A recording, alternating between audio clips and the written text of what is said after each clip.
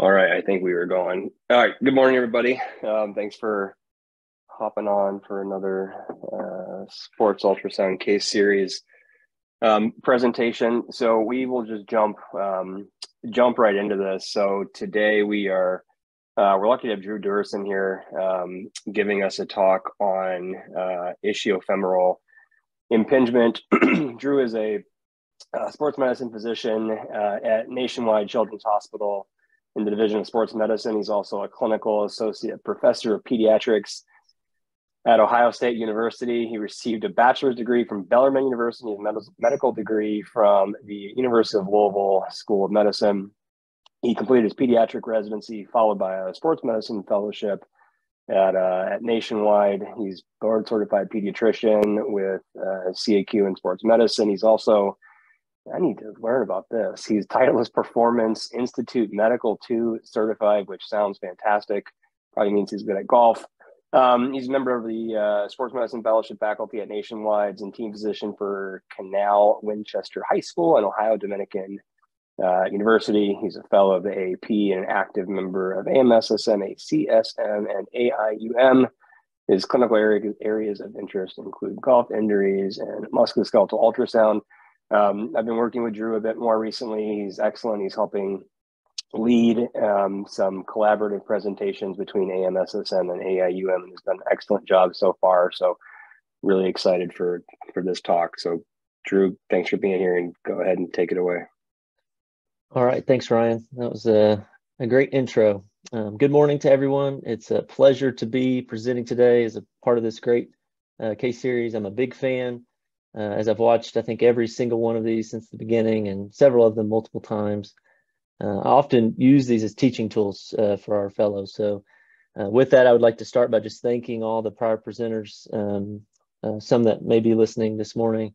Uh, you guys have done a great job and, and, I've learned a lot and set the bar very high. So I would like to start with a, a disclaimer. I know when Ryan approached me with his list of pathology that he needed to present, I'd fortunately seen this case uh, a bit recent and chose to run with it. But admittedly, the posterior hip is likely the body region I scan the least, especially early on in my career.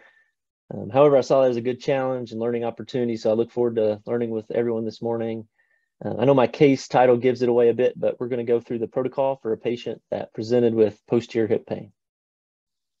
No disclosures, our objectives will be similar to all prior presentations. Um, I'm going to start with a brief case presentation, focus mostly on my scanning protocol with review of those images, briefly mention some pathology that we will often uh, see in our young athlete, and then lastly, with our uh, full report of a complete ultrasound exam. So here's our case. We have a 17-year-old female lacrosse and field hockey cross-country athlete that presented with acute on chronic hip pain. The pain was localized mostly to the posterior hip and buttocks, but she also had occasional anterior and lateral hip pain. This was insidious in onset, no acute injury. She would also have some low back pain at times. Uh, no radiating pain, numbness and tingling in the buttocks and down into the posterior thigh, and at times all the way into the lower leg, down to the ankle. And this was mostly when she was doing a, a piriformis stretch, she would, she would describe. On her exam, she didn't have any hip instability, no catching, locking. Um, she did have some intermittent snapping. Um, so tenderness to palpation deep in her hip rotators. She had full range of motion, full strength. Um, she had a negative FADIR test, negative hip scour test. Um, looking at her low back, she had a negative seated slump test, negative uh, straight leg raise. But she did have a positive ischiofemoral impingement test and a positive long stride walking test. So as with most of our patients, we do start with radiographs. Here are the common two views that we obtain, the AP pelvis and the frog leg lateral. These were unremarkable for this patient. Before we get to the ultrasound imaging, I did want to uh, briefly go over her MRI images. Um, we did get these eventually um, as we were working through her uh, case, uh, mostly to rule out stress fracture in her low back and also to look for any lumbar disc pathology that could explain her paresthesias. Uh, these were also unremarkable.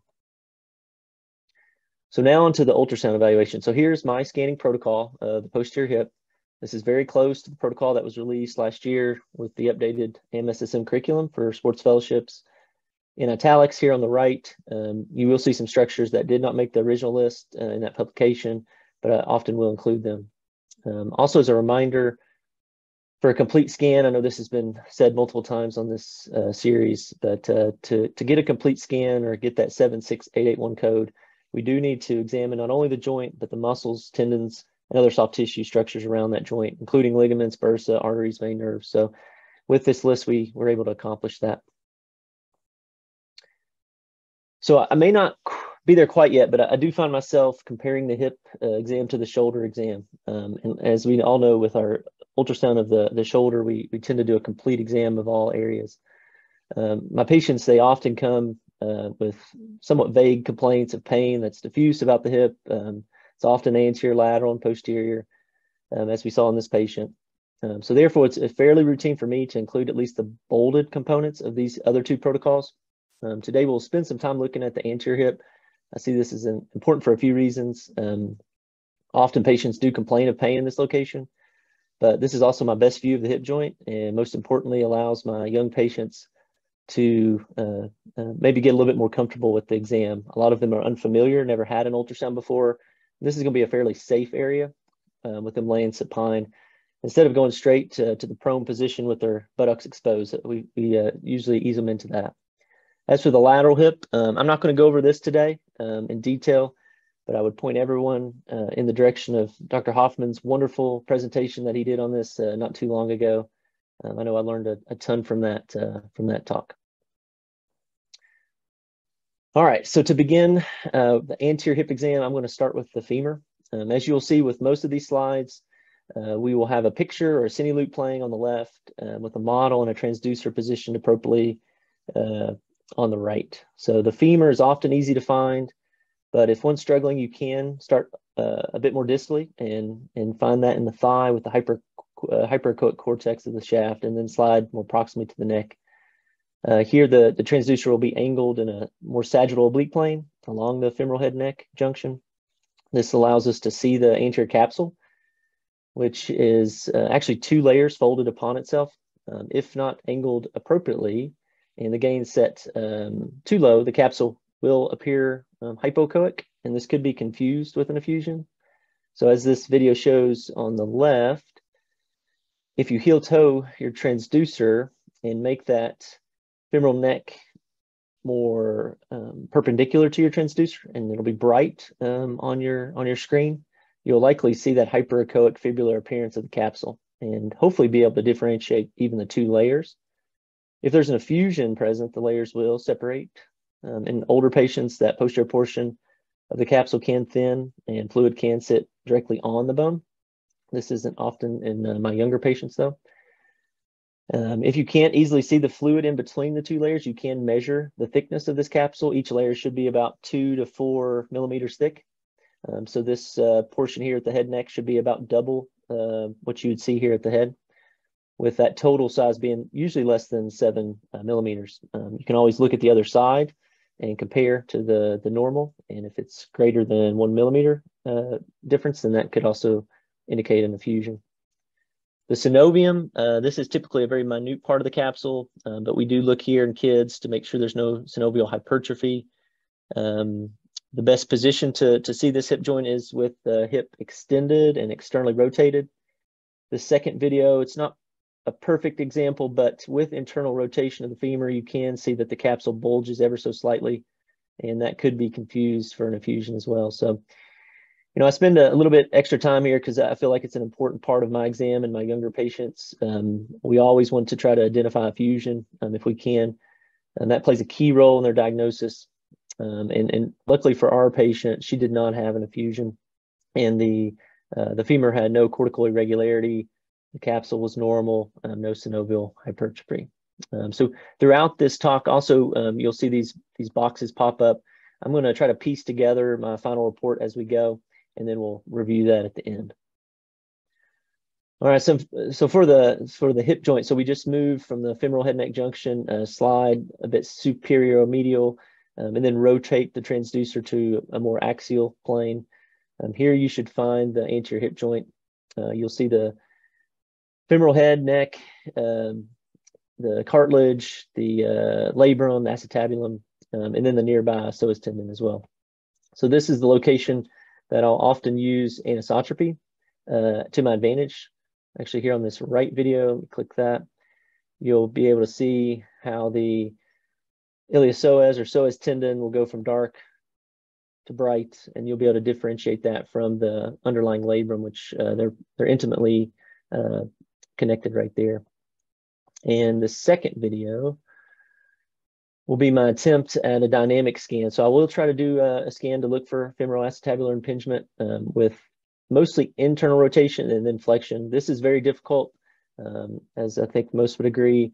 Um, it's hard to keep your transducer in the right position when you're uh, anterior to the hip. The the exam typically, you know, sometimes takes up to you know 90 degrees of hip flexion to elicit symptoms. Um, so that uh, that makes the transducer get in the way a lot of times. And there are some techniques that you can do more laterally. Um, but uh, in this video, we can see our patient mostly with internal rotation, a little bit of flexion. Her hip joint was uh, was normal. So let's see, no effusion. Like I said before, no articular cartilage injury, uh, no obvious anterior labral tear impingement. I will uh, put that in quotes. So I typically will say obvious or uh, or visualized portion because I am not uh, you know able to confidently exclude these diagnoses completely. So um, I will make mention of that. All right, so from the hip joint, we can slide just medial to identify the femoral nerve, artery, and vein. Um, we can use our navel mnemonic there to identify those. This is just a quick look for me. Uh, I just want to make sure the vessels are patent. Uh, the vein is compressible. The femoral nerve um, is often best seen a, a little bit more superior, uh, almost towards the inguinal ligament. So I will slide, as the second video will show, slide a little bit more proximal and try to optimize that image. Um, but even as you see in this image, it's it's often hard for me to get that perfect honeycomb appearance of the, the femoral nerve um, in short axis. But uh, I, I, do not see pathology here often, but uh, now that we've identified some vascular structures, um, we are one step closer to you know, getting that complete exam as well. So that will be another reason that I would take a quick look here. And for our patient, she uh, she had normal vessels uh, and a normal nerve. So from there, I'll, um, I'll, I'll, go to the iliopsoas complex. So this is a, uh, an area that I do look in pretty much all my young patients um, because a lot of them come in with complaints of snapping, just like we saw in this case. Um, but it is rare, I'll admit, that I actually see iliopsoas pathology. Um, I will see it snapping, but the tendon will often looks normal. Um, and you know, it's even more rare for me to actually find a bursa that's distended. Um, but if we do, it's going to be deep to the tendon, and it will typically go medial to the tendon over toward those femoral vessels. Um, I like to do this exam um, in an oblique axis, more parallel to that inguinal ligament. Um, this allows me to see the anterior inferior iliac spine, lateral and medial fibers of the iliacus, the psoas tendon, and, and, and some of its muscle. And before I click the video here, you can see that uh, this mid, this middle video here to the left, we can see there's you know a larger uh, lateral iliacus muscle group, and then right next to the tendon, we'll see the medial uh, iliacus group, and then the tendon um, tendon raised. Uh, so we'll click the video now. So this is midway through my dynamic exam. We've already got the hip flexed, um, abducted, externally rotated, and as you can see, those medial iliacus fibers have got between the tendon and the iliopectineal eminence. And this is why they snap, because when we extend the hip, the iliacus fibers abruptly move out of the way, and then the tendon goes back to its position against the bone, and that's and that's the snap that we feel and we hear. Um, deep to that again. So if, if this snapping occurs enough, we will sometimes see bursal distension. Like I mentioned, this is uh, uncommon. I would say more often when we see bursal distension, this is a, a re- uh, this is coming from the, the actual the hip joint. So uh, about 10% of us, uh, the uh, the iliopsoas bursa is connected at the femoral head um, to the, the hip joint. And um, we could even, you know, maybe consider this similar to the Baker's cyst of the knee, and it's kind of like a check, you know, a checkpoint valve where if there's fluid that builds up in uh, a hip joint, it could uh, distend this bursa.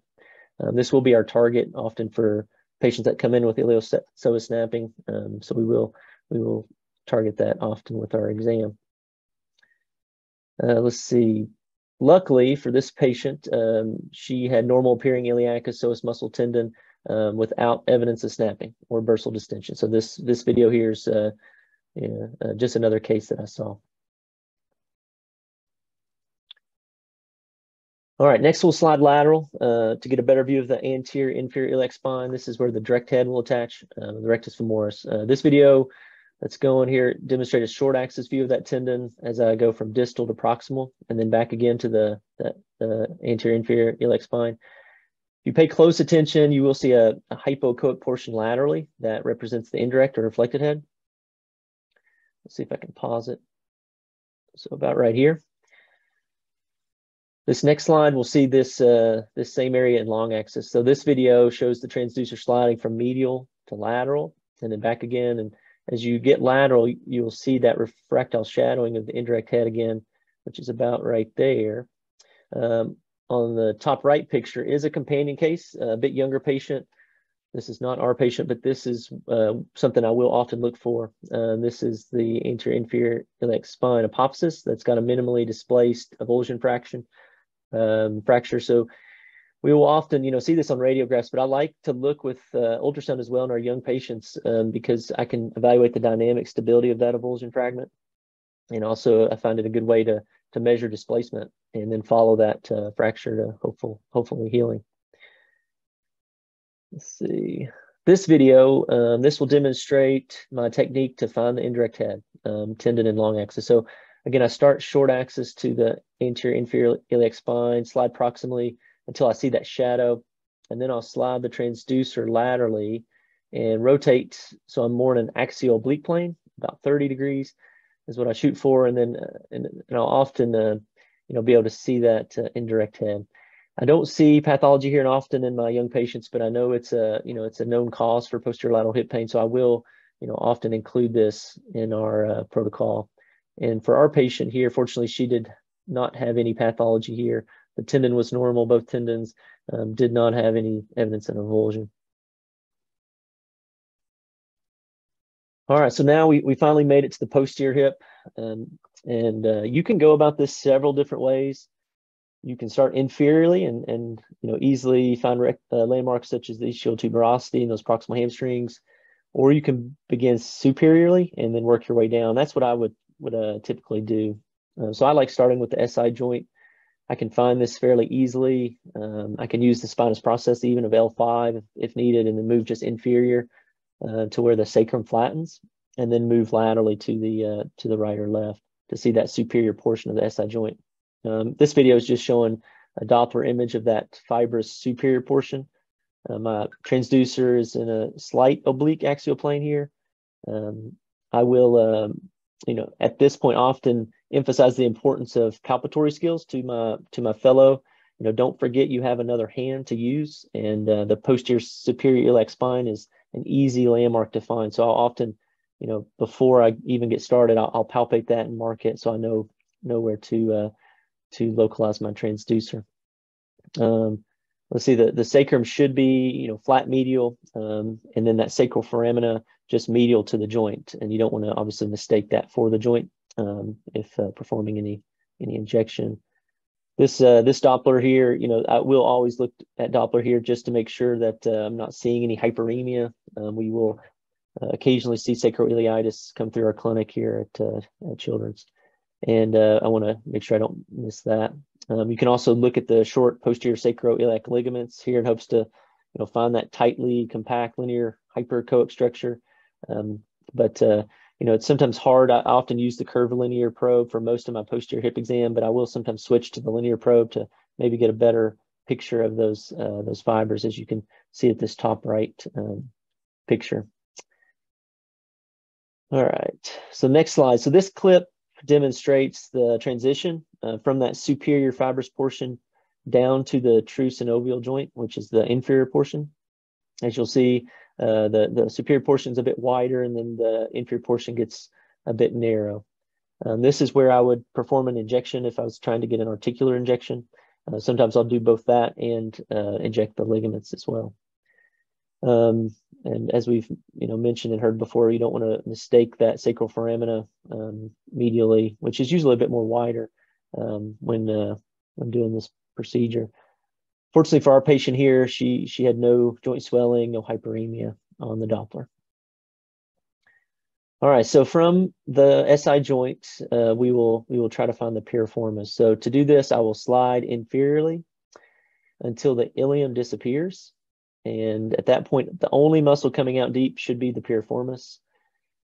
Uh, once I find the piriformis, I will rotate my transducer about 45 degrees towards the greater tuberosity. Again, this is a, another great place to use your palpatory skills and, and localize that greater tuberosity so you can direct your transducer. Um, and then if in question, like you see in this video, you can easily rotate the, the patient's hip um, back and forth. So you can see that muscle and tendon translating back and forth over the posterior hip and underneath that gluteus maximus. Um, this will be where I can first identify the sciatic nerve in this patient. You can see it deep to her piriformis muscle. Um, and then also her piriformis muscle and tendon appear normal. So now we move on to what I think is probably the, the, the more challenging part of the posterior hip, um, trying to identify some of these other deep hip rotators.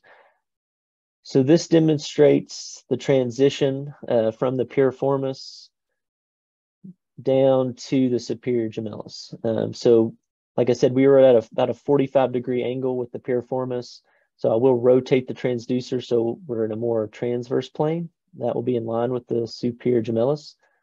We know the superior gemellus, it originates from the ischial spine and then inserts onto the medial surface of the greater trochanter. Along, a lot of times has a common connection with the obturator internus. Uh, some would even consider them a, you know, a complex, the obturator gemelli complex. Uh, this next video will show the superior gemellus rotating over the hip joint. Um, and we can use this technique to identify the rotators, but as expected, all these rotators move when we rotate the hip. So you, you have to pay attention to what level you're at and what uh, orientation your transducer is. And for our patient, uh, she had a normal uh, appearing superior gemellus with, with no uh, abnormal echogenicity in the muscle or tendon.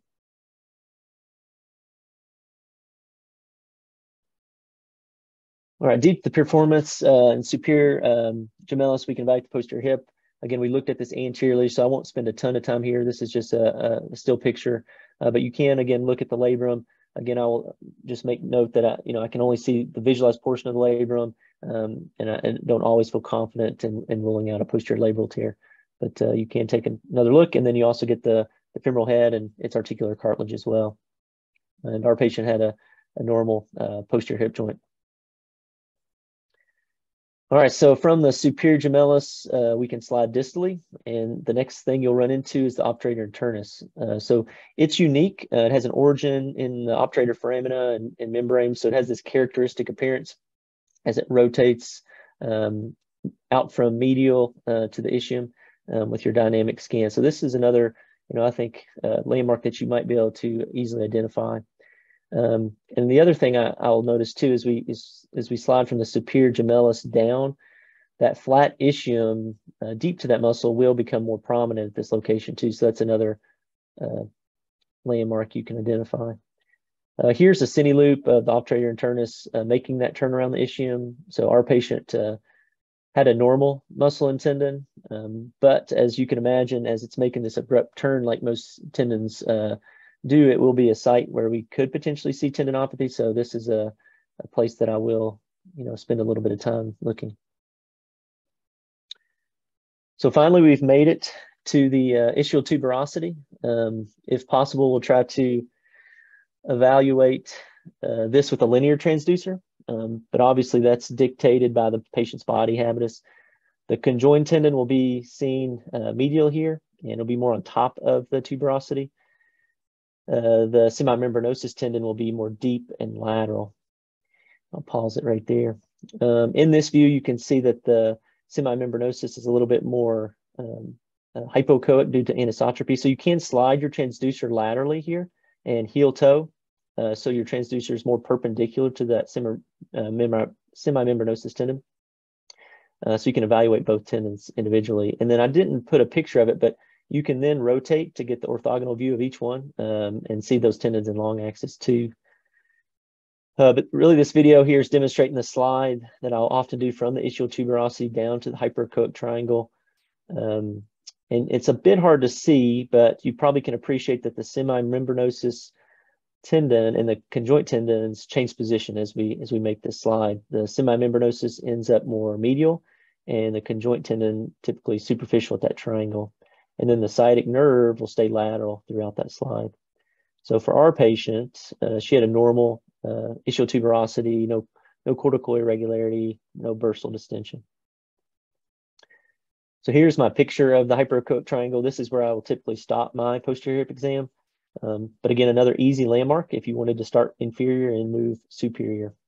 Uh, this is uh, typically right at the gluteal cleft, so so pretty easy to find. And again, for our patient, she had normal hamstring tendons um, with no avulsion fracture.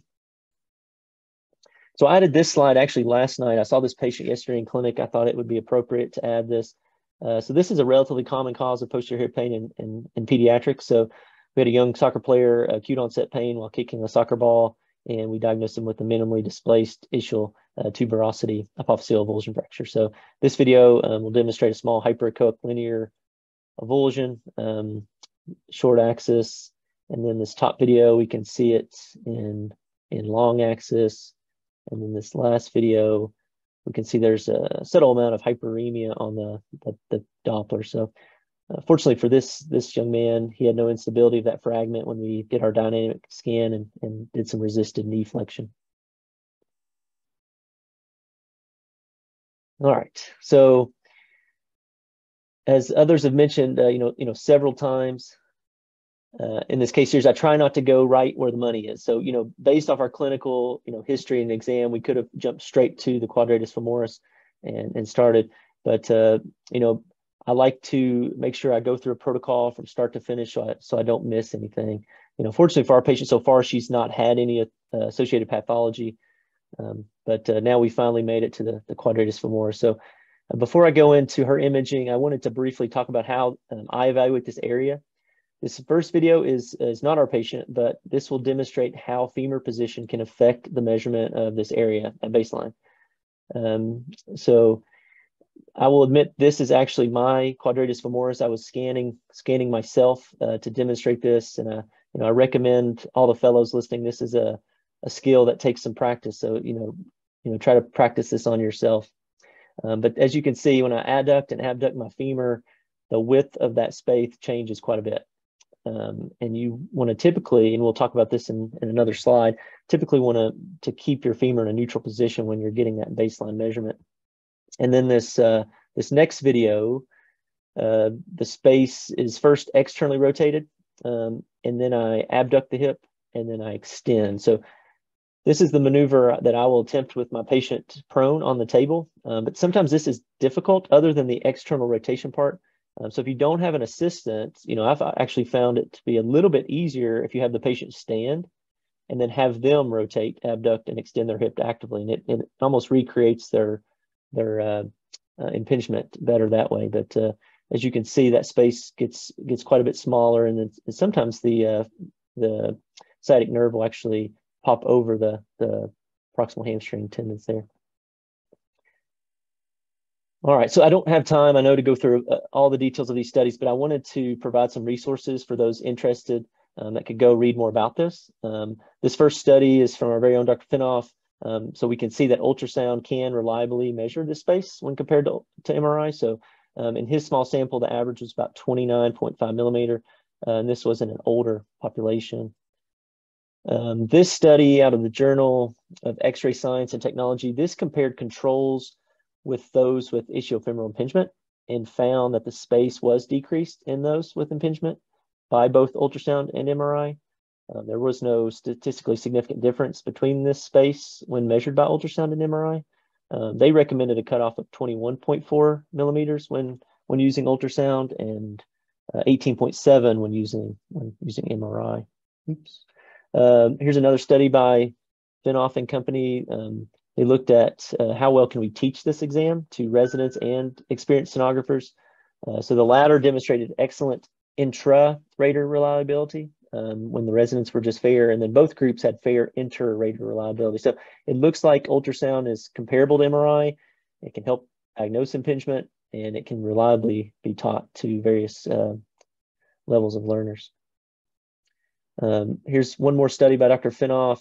Uh, I like to mention, uh, again, the femur position is very important uh, to measuring that ischiofemoral space. And, and he looked at this in this study.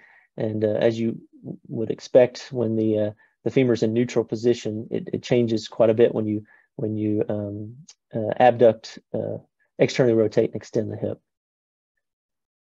And then, you know, more, you know, appropriate for for my patients. So, what about children and adolescents? This was an MRI study. Um, I believe it looked at around 50 hips, about uh, about 27 children or so. Ages were from seven to 18. Um, so they looked at the ischiofemoral space as well as another space that they um, that they called the quadratus femoris measurement.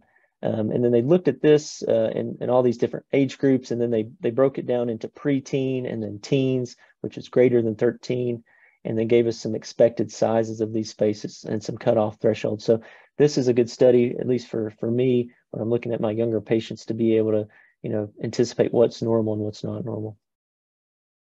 All right, so back to uh, back to our case. Um, so this video actually shows the issue uh, femoral space that's uh, decreasing in size as we move uh, that hip into um, just external rotation here.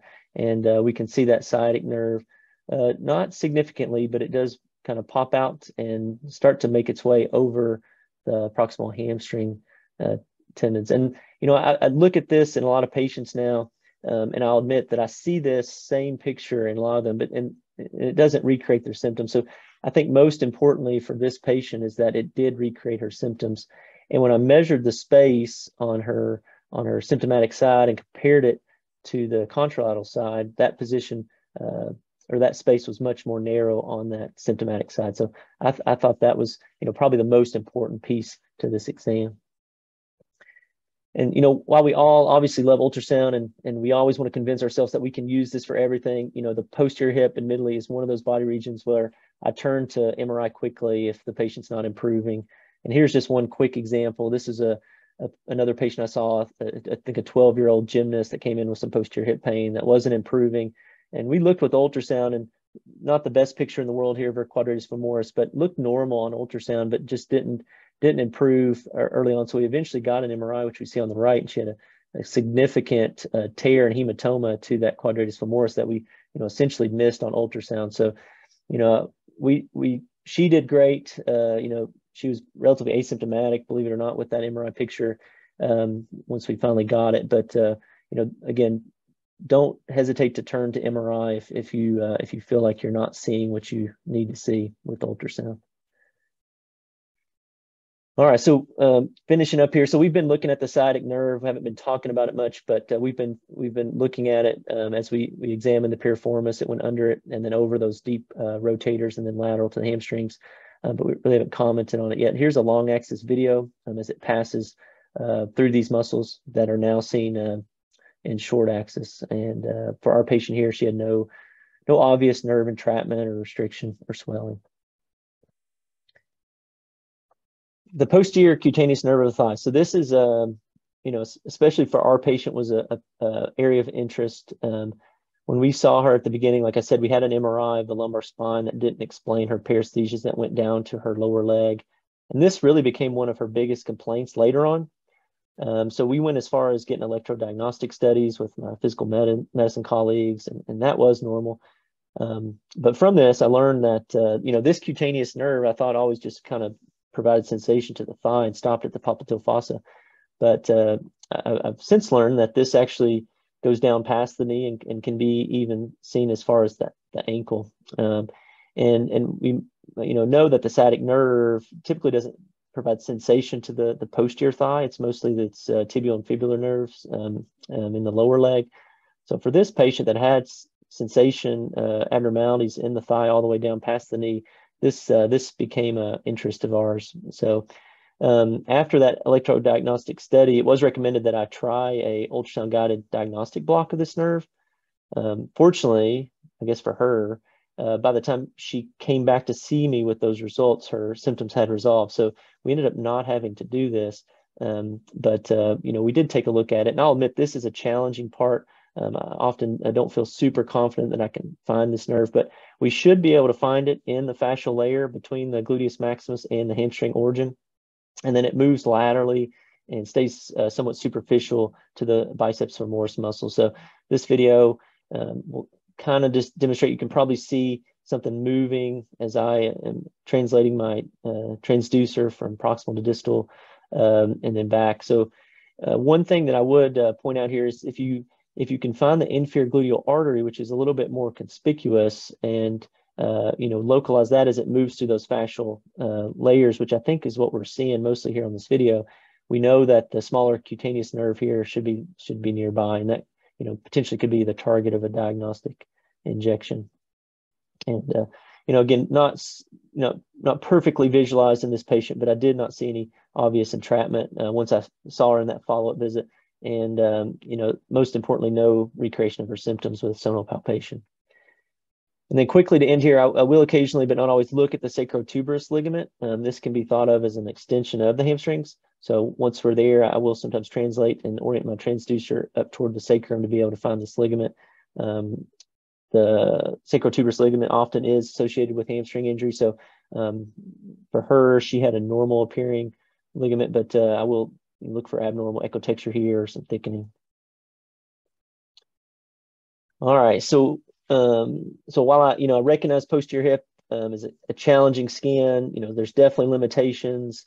Um, but I do see this as a, a, a, key role for us, you know, the, the diagnostic injection. So for this patient, during this process, we, we did perform a diagnostic injection of the ischiofemoral space and the quadratus femoris. Um, we did put also a small amount of steroid, which significantly improved her symptoms she did very well um, with this injection. It essentially relieved her symptoms right away, and then followed that with some conservative treatment, rest, and physical therapy. And she she did excellent.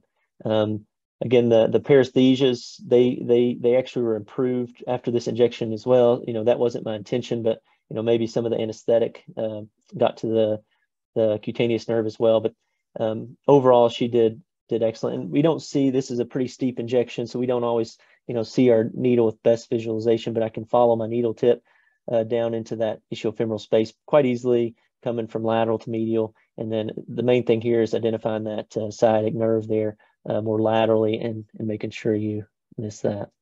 Um, just one more resource, again, a small study here, but did show that steroid injections uh, improved uh, patients similar to mine. So another study to maybe go go look at. So Finally, we end with my diagnostic report. Um, similar to others in the past, this uh, starts with the basics. We have date, patient identifiers, uh, referring providers, indications at the top. I'll, uh, you know, often, uh, you know, do a complete exam, but if it's if it's more indicated for a limited exam, I'll, you know, identify that there. Um, you know, I'll mention the ultrasound and the transducer I used, any comparison studies, which is again often X-ray, occasionally MR.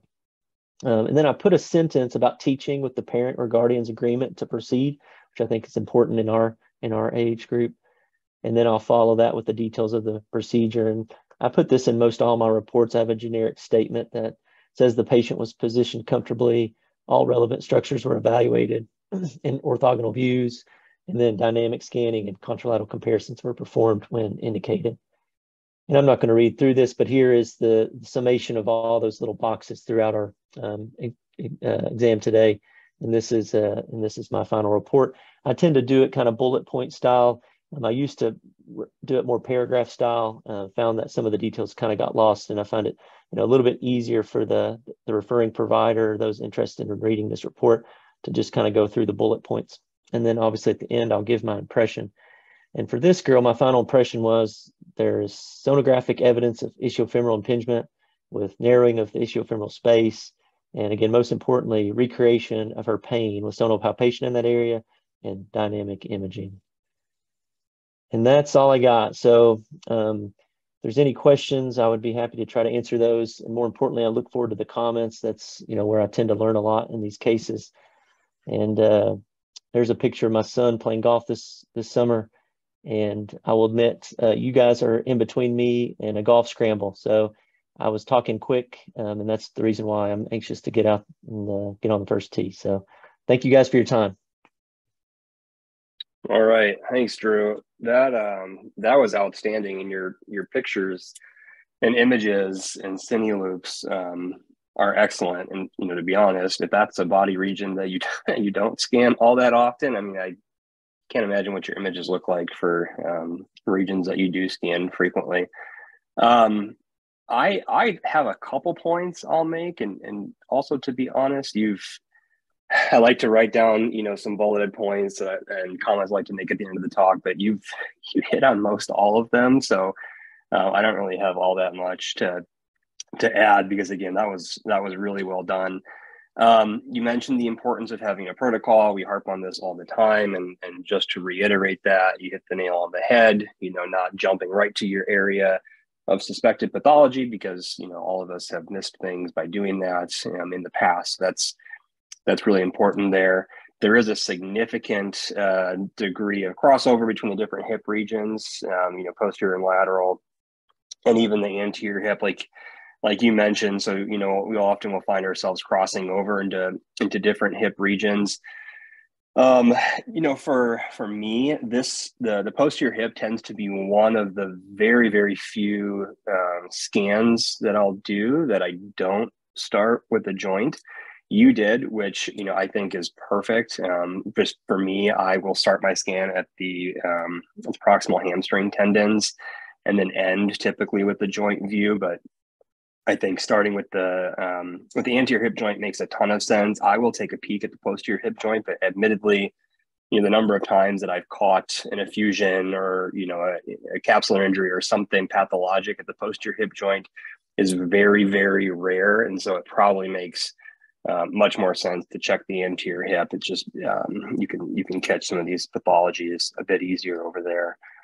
Um, the uh, I was going to say the posterior femorocutaneous nerve. So that is something that I will take a peek at um, as well. You're you're spot on that it can be really challenging. It's a really small nerve, um, and it can be a bit challenging to find that. What what I will do at times if I can't find it up near the uh, proximal hamstring tendons, I will just slide down, you know, kind of mid uh, mid posterior thigh region and find biceps femoris and see if I can find it, you know, kind of posterior medial excuse me, posterior medial to that region, that can be really helpful um, if you're having trouble finding it. But but you're right, it is a very small nerve and it can be difficult. And using fast sweeping motions, like I think you alluded to, uh, can be helpful for all nerves because they will dive and you know change their course. And so that's just something to um, to keep in mind there. I think your point about the sensory distribution is also really important from a just a diagnostic um, perspective. You know, the sciatic nerve typically is going to provide more sensation distally um, down into the leg. And so if somebody has proximal thigh paresthesias or sensory changes, like you mentioned, certainly number one on my list is going to be something uh, from the lumbar spine potentially, or lumbosacral plexus, and or the posterior femoral cutaneous nerve. So any sort of sensory changes up there, I'm really not all that um, concerned about sciatic nerve. I'm thinking about something more proximally, like you mentioned. Um, so that's a brilliant point there. The other thing, you know, the papers by John um, and Jay, and, and, I think Brennan's on a couple of those. Those are all great papers for this region, in particular the ischiofemoral space, and and we know that ultrasound, you know, is equally as reliable, like you mentioned, in measuring the ischiofemoral space. Uh, I think a lot of us will use two centimeters uh, for normal, and it is important the uh, position of the femur, like you mentioned, because that can dramatically change the um, the measurements that you take. So that's a that's a very good point there. The what else? I think those were my main points. Your images of, of some of the small hip rotators were fantastic. Um, were really well done. I just I have one question, um, one question for you, and it's somewhat related, but I guess one point, one question. One point is is thank you because I think you're the first pediatric sports medicine uh, doc we've had on here, and um, it's it's great to get other people and other specialties in, involved. And you know, the things that you see on a day to day basis from an ultrasound perspective are things that I might see probably once or twice a year. I don't really scan a lot of young kiddos, and we certainly know that uh, kiddos are not small adults, right? And things look a lot different and I guess my question is, you know, do you do you know of any have any good resources for pediatric ultrasound. Um, you know, obviously we've got an abundance of, of, of literature and, and resources for non-peds, but I'm just curious what, what you use or, or what reference you use um, for kiddos. Yeah, well, first, thanks for all the, the nice comments. I really appreciate uh, appreciate that, Ryan. Uh, you know, I've I've learned a ton from you during this uh, case series, so uh, I really appreciate that. Um, to try to answer your question, you know, uh, I think you know pediatrics is way behind when it comes to ultrasound, and you know we unfortunately do not have great resources. So you'll find pediatric pearls, uh, you know, scattered throughout some of the the bigger ultrasound textbooks. Uh, you know, Jacobson mentions it some. Uh, you know, and and and I'll I'll look for it, but you know, there's not a great go-to resource, uh, and I think that's where a lot of the research is lacking too. So, you know, it's nice to see some of these papers that are looking specifically at uh, children when we're even just measuring normal. Um, we don't even have that for for a lot of our patients. So, um, you know, I wish there was a a better resource, but uh, as of now, I don't I don't have one. If if someone knows of one, you know, please uh, feel free to email me. I'd love to to get my hands on it. Yeah, yeah, I don't I don't know that, that one exists to be honest with you, and you know, certainly these muscle tendon units all look significantly different depending on their age and their apophysis, and all of that is very different. And so I just think that's an area that's that's lacking, no doubt about it, um, no doubt about it. But the uh, the images that you showed, like I said, were were outstanding, and um, for the sake of of time and, and your tea time and and and whatnot, we'll probably wrap it there. Um, but thanks again, Drew. That was again, that was really, really, really well done. And um, I know I was excited to hear this talk, and it, it you know certainly surpassed expectations. So great, uh, great job with that. Thank you for the um, opportunity. Absolutely. All right, guys, we'll uh, we will wrap it there. Um, so we are we had a little bit of a change in the schedule in terms of uh, who is presenting. I think those changes have been made. Um, on the uh, on the website. But regardless, we are back on the 30th of this month.